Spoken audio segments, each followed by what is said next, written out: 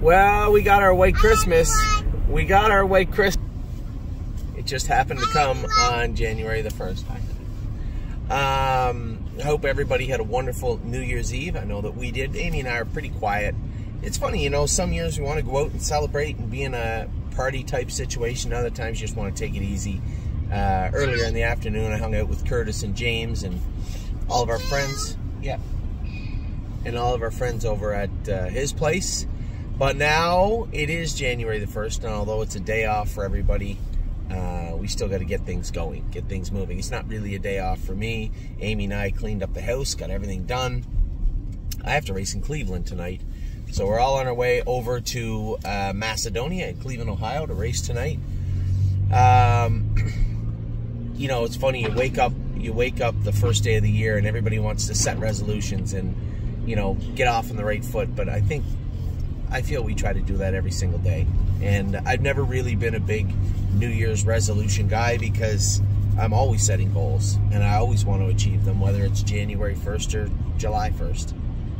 And I think this year is, is no different for us. Obviously, we had a tremendous 2023. I said to Amy, every year, you know, you're eager, you're eager to, oh, I can't wait for this year to be over. Oh, you know, jokes, you know, saying how much they didn't like, people didn't like the year they were in, but we actually had a great year.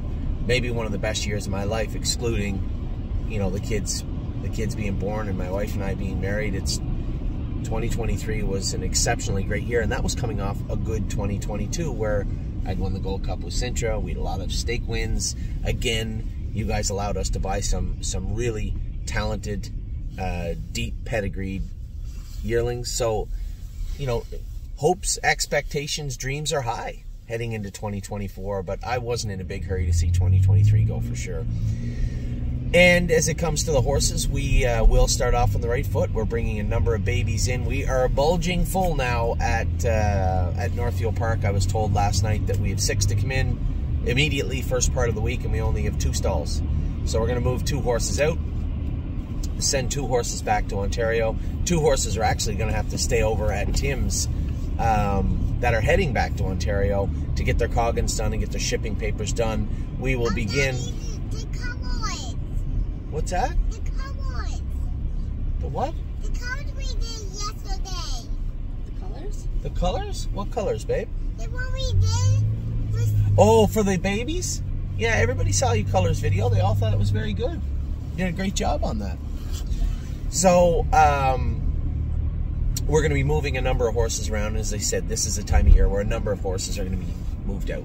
Now, some of them uh, are good horses that maybe don't get a chance to race right now, or we feel that maybe their classifications are running out, or in some cases, maybe getting a little, a little sleepy, a little tired this time of year. So we always have to continue to move forward, and, and I always try my best to tread lightly as mistakes are inevitable and you need to make as few as possible, especially in this game.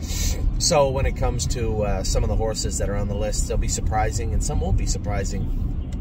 But ultimately, we only have so many, so many rooms in the hotel, and uh, we have a list of horses. we have a number we have, and everybody that is below that list is gonna is gonna potentially at least uh, be looked upon very carefully over the next week. Um, we won't be looking to acquire much over the next couple of days, as as I just said, we're full of, we're full as is. But I will be watching a number of horses that are getting ready to qualify on on the Ontario side that we just left. I think Dominic has what three that are ready to qualify right now, four or five that are on their way. We have six, seven, eight horses. We have six, seven, or eight horses that are getting ready to qualify here in Ontario. I know we have at least three or four to qualify uh, Wednesday in. Uh, Wednesday at Northfield Park, and a couple of ones that are, are very close also. So we have a number of horses on the horizon. Our two year olds, some of them have been back in and will begin training this week. I know that Dominic said, did he say he started with Drebin or he's starting this? I think he said he's starting to train him this week. So a lot of exciting prospects. Obviously, the whole point of getting the horses ready right now, for the babies anyway, is to see what they are and what they aren't. If they're overnight horses, we'll race them until their classifications uh, run out or, or appear to be running out and then they'll be moved if they're stake horses or appear to be stake horses. One horse that's in a very, very tricky spot is Time is on My Side. This is a horse I trained in two minutes the other day. Probably going to train him another hard mile next week. Then we'll qualify him twice. He'll likely race at the Meadows under Tim. But is he a stake horse? Is he a sire stake horse? Is he a stallion series horse? Is he a horse that we're going to modestly stake? Or is he an overnight horse? I have no idea. And that may sound silly to you. It may sound silly to hear me say, I don't know. There's no way to know. You know, those I trained him in two minutes. So he only has to go 10 seconds faster to be an effective sire stake horse in 2024. And if it looks like he is going to be, we can't race him January through October. So that's a great question, honey, because he's going to get too tired. Oh. And I, I'm so excited Punchy have his baby. Yes, Punchy, that's another exciting part of 2024. A huge transition for us. Uh, let me finish with time first. So time is on my side.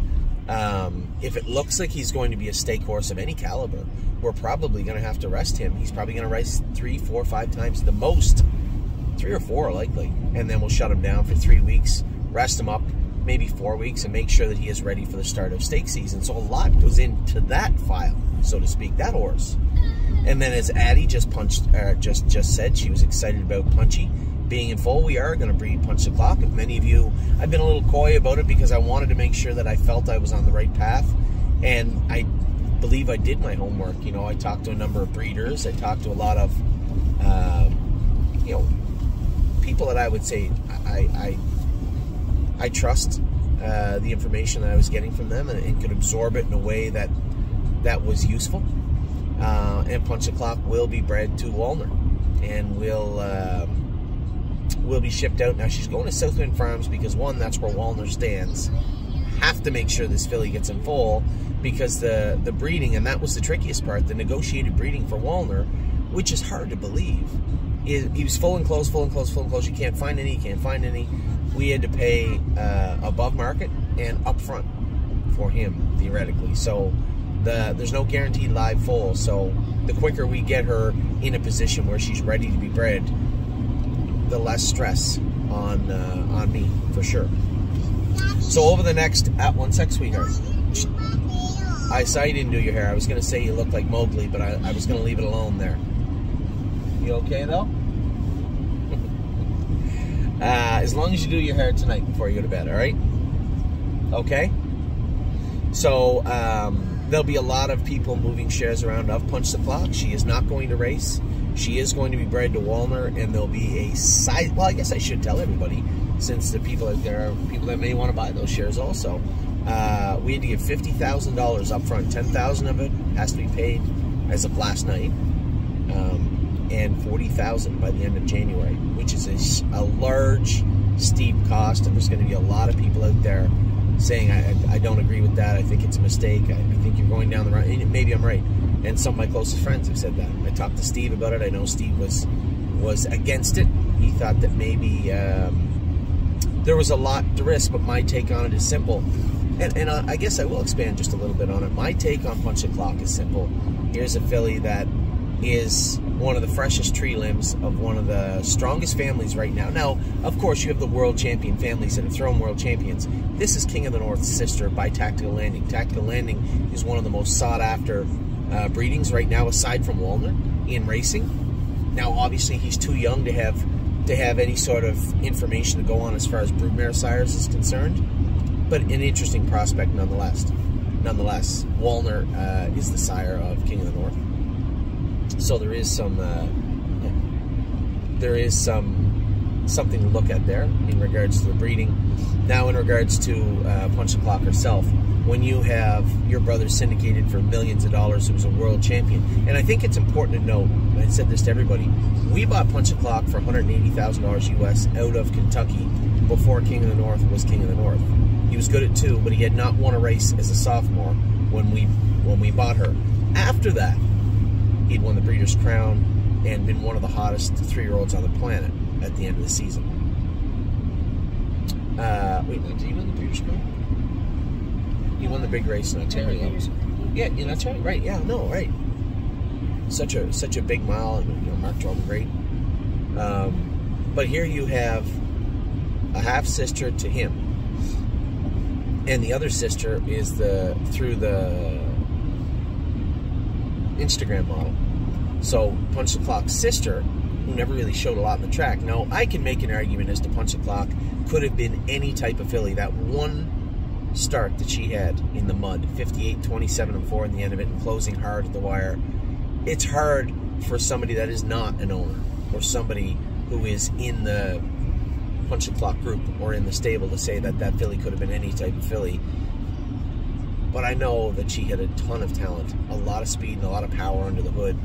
And when you factor all of that in, I guess it really boils down to why would I look to take a little loss or try my hardest to break even on on one of the freshest sides of a very very strong family in horse racing, and that is really what it boiled down to. So there's going to be people out there that are selling their shares of Punch the Clock, and I have to change the notation beside her to Broodmare now so that everybody knows.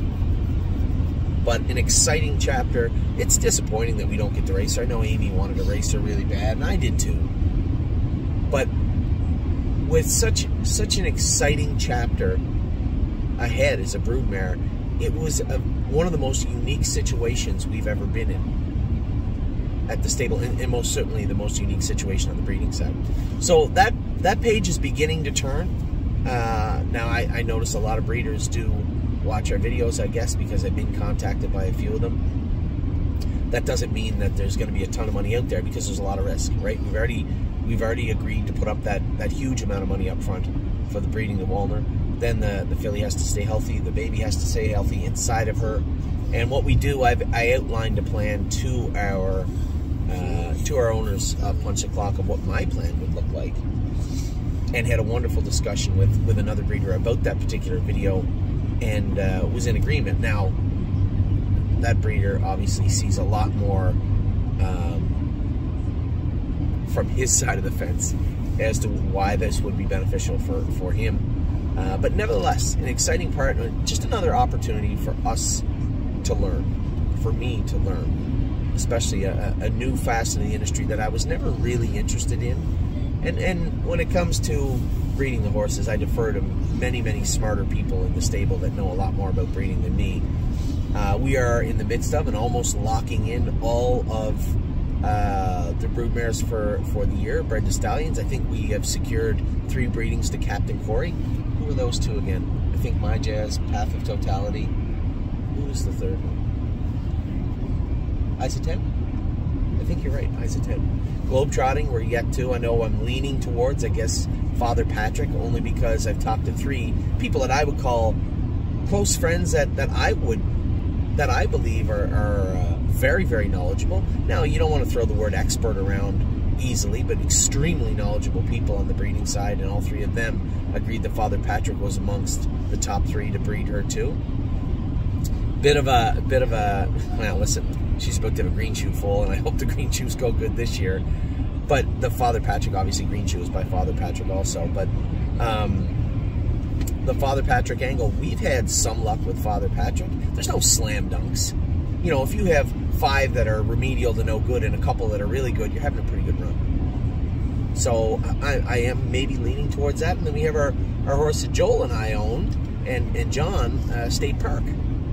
Maybe go back to Volstead Stop. Maybe go back. What's that? What the hell? I never thought of that. What the hell? Yeah, I'd, I'd have to ask. I'm gonna ask. I usually my first go-to with the breeding. Yeah, he isn't. He's a Volstead. Yeah. So that's a good point. Also, we have some information on the ground in in actual horse flesh. We have a Volstead out of State Park S uh, that looks very very nice in, in Kentucky. That's a very very smart thing too, all Amy.